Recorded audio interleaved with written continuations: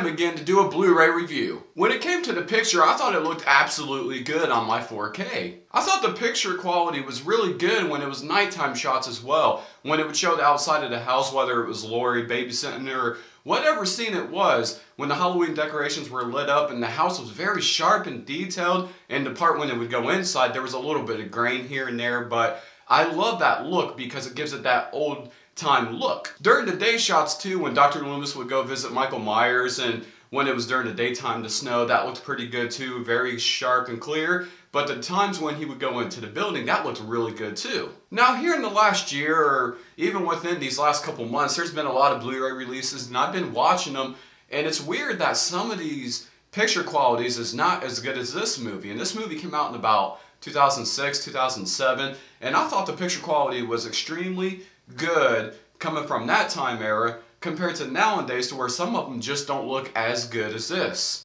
Picture gets a 4.5 out of 5.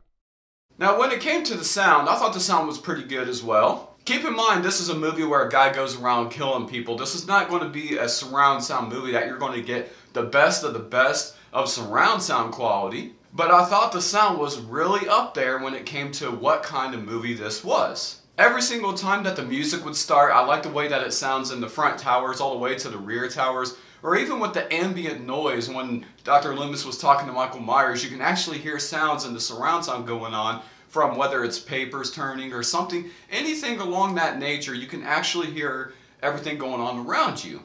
Now there was a couple times where bass actually did happen throughout this movie, but as I said, keep in mind this is not a surround sound movie that's just going to pound you with bass constantly all the time. So you got to keep that in mind. If you're going to get this to test your bass out, that's not a movie to test your subwoofers out with. Sound gets a 4 out of 5. Now, when it came to the special features, this is a title that you must have if you love special features.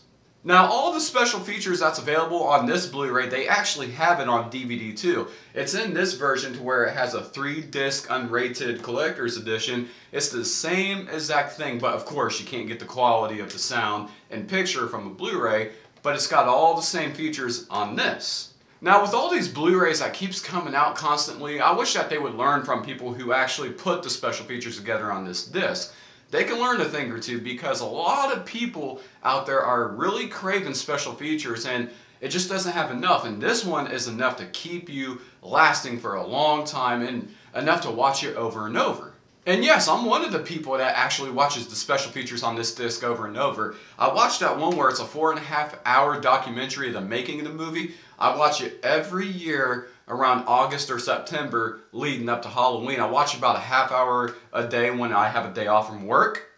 And there's just something about it when I see them making a movie like this, it just gets me excited. And I love seeing how they put scenes together, how they chopped it up, how they made it look for the background, how they made the props look. It was such an awesome special feature to have. Special Features gets a 5 out of 5.